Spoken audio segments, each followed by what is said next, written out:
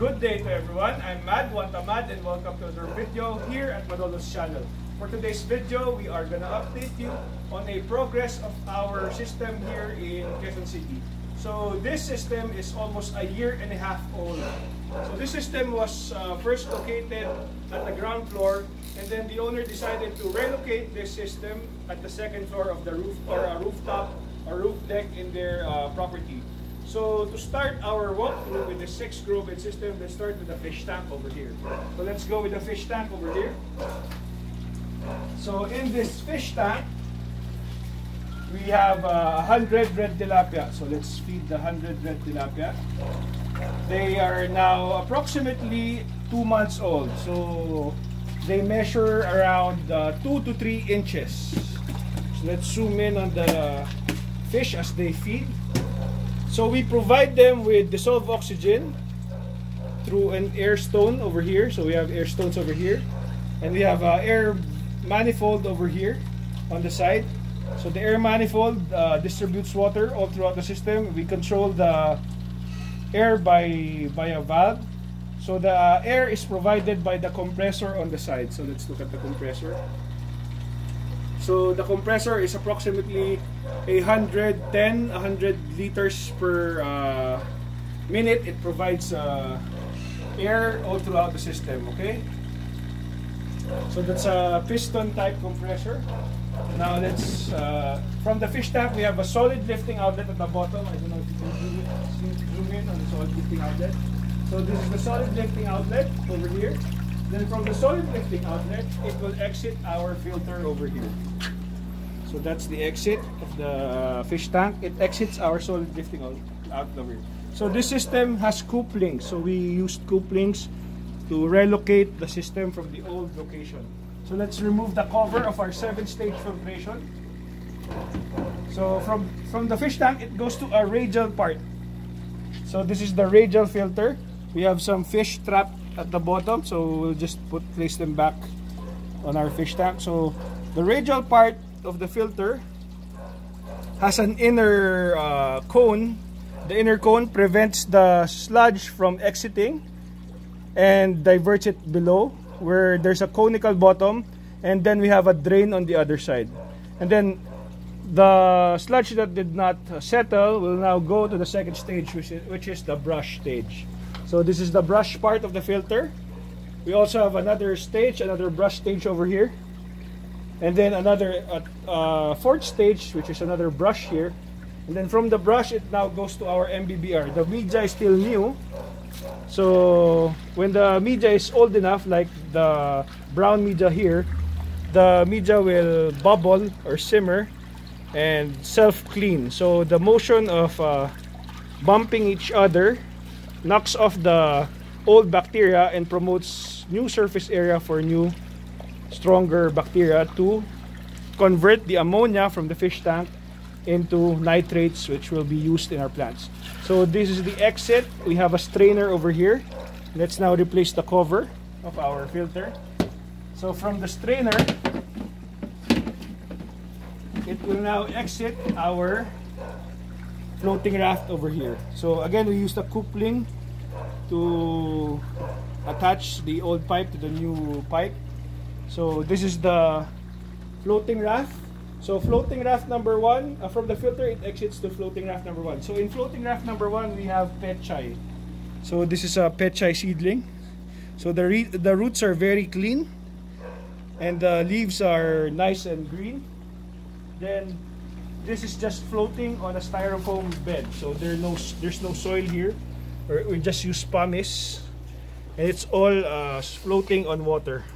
Again, we provide aeration to the roots by adding air. So let's replace our styrofoam back. So you have to be careful in lifting the styrofoam because if you lift this uh, vertically, you, you, you, take the risk of uh, breaking the board in half. So you have to slide it on the side to prevent the, the styrofoam board from breaking. So from floating raft number one, it now goes to floating raft number two. So let's go to floating raft number two over here. Then from floating raft number two, Here we have some romaine lettuce.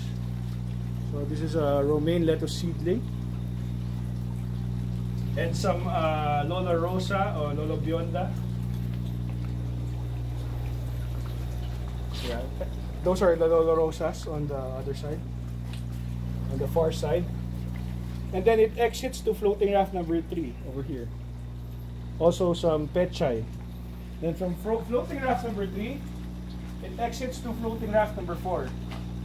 And then from floating raft number four, it now exits to our last floating raft, floating raft number five, where the pump is located. So again, let's slide our raft.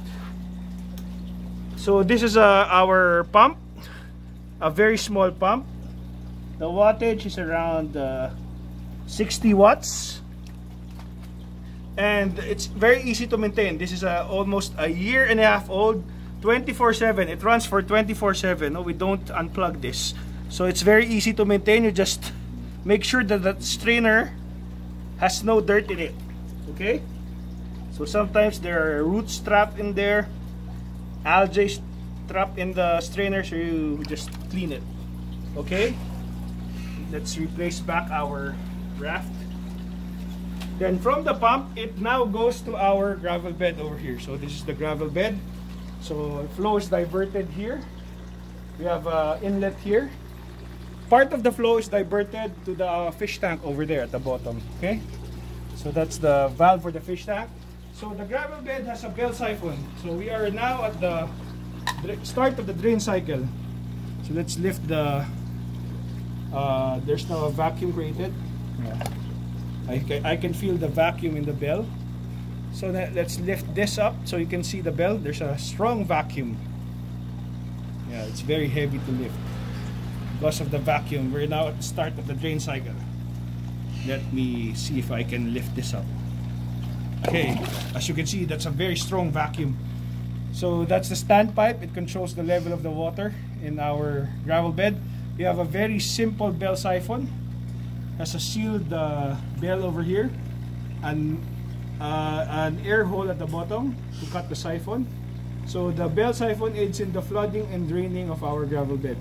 So let's now place back our bell and let's see if the siphon will be triggered. So let's go to the bottom of our our pipe. Let's see if we trigger this the siphon to start. Okay. So let's wait for the siphon to start.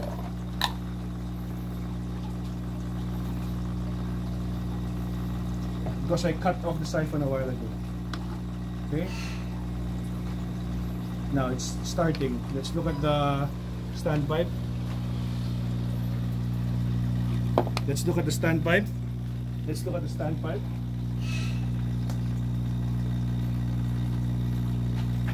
It's about to reach the level of the standpipe. The water is about to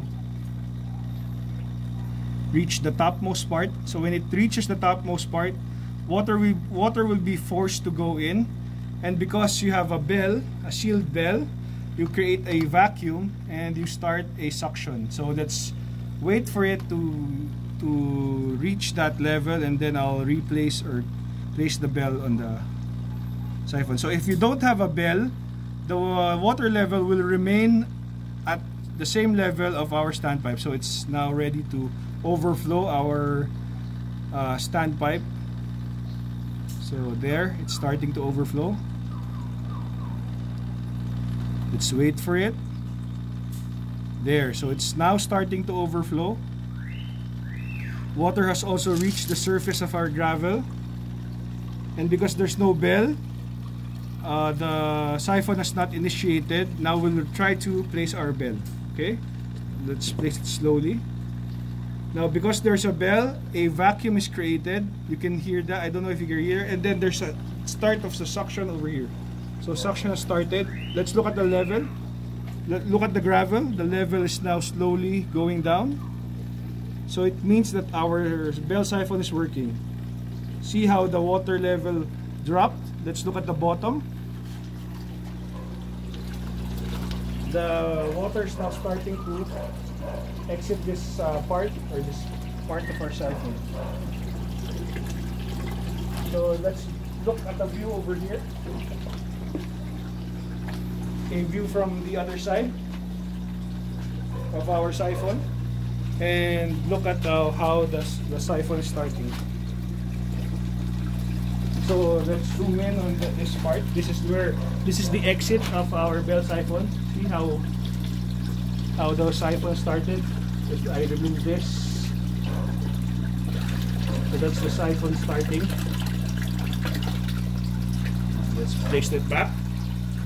Then from the siphon exits to the fish tank, and then from the fish tank, the cycle then continues. Okay, so let's look at the reason why they relocated this system. So let's go uh, to the first floor. Okay, a view from the first floor.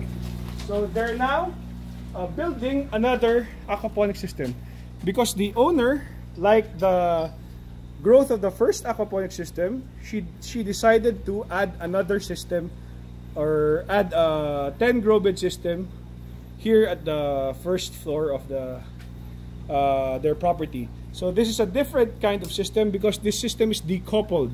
So how is it decoupled? So we have a fish tank system over there and uh, so that's the fish tank and then that's the filter and it has its own sump. And then we have a growing component over here. We have four gravel beds here and four gravel beds here. And then the gravel beds has its own sump also, this too. So the system is decoupled. The RAS component is independent of the hydroponic component uh, over here. So in the future, we'll do a walkthrough of the, that system. So we have a MADE team there constructing. Say hi, MADE team. Uh, MADE team, say hi to the camera. Yeah, so we have uh, two of our team members uh, constructing the system down there. Okay?